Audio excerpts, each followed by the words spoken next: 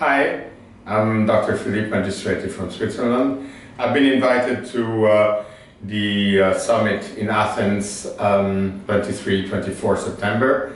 I'm looking forward to it, especially I'm looking forward for the uh, psychology, dermatology, and trichology session. It's really very exciting. First time um, the hair industry focuses on this, and I'm really excited and looking forward to it.